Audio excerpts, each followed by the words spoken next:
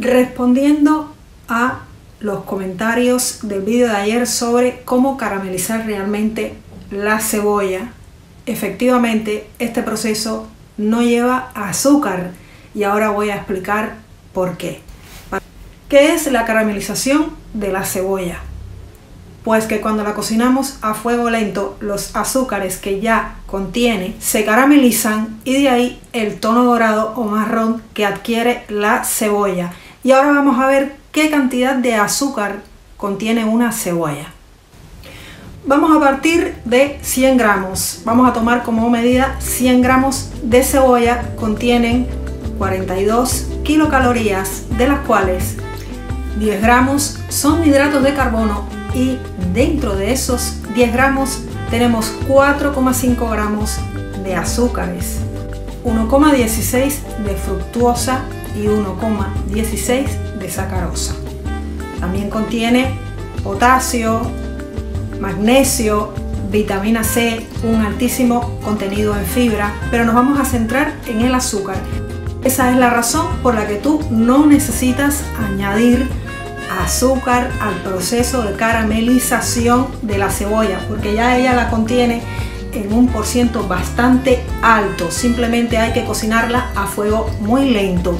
Y para demostrarlo he traído el vídeo respondiendo a una de las comentaristas que me propone ¿por qué no haces el vídeo sin miel? Porque el vídeo original contenía miel, como ya expliqué, era una versión llevaba miel incorporada porque era lo que llevaba esa receta, pero no porque el proceso de caramelización de la cebolla necesite miel o necesite azúcar.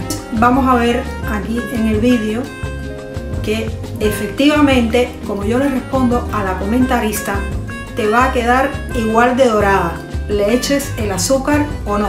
Y por la cuenta que te trae es mejor que no incorpores el azúcar Mientras vamos preparando el proceso, te voy a contar algunas particularidades que quizás no sabías. La cebolla lleva en el mundo más de 5.000 años. En el tratado hindú Charaka Sanita aparece como diurético y remedio eficaz contra las afecciones articulares, oculares y cardiovasculares. En Egipto se añadía a la comida de los esclavos que trabajaban en la construcción de las pirámides para fortalecer sus articulaciones y su resistencia cardio. En los funerales egipcios se le ponía entre las cosas que los difuntos llevarían al otro mundo como ofrenda, ya que su forma redonda y las capas de la cebolla simbolizan espiritualmente la vida eterna.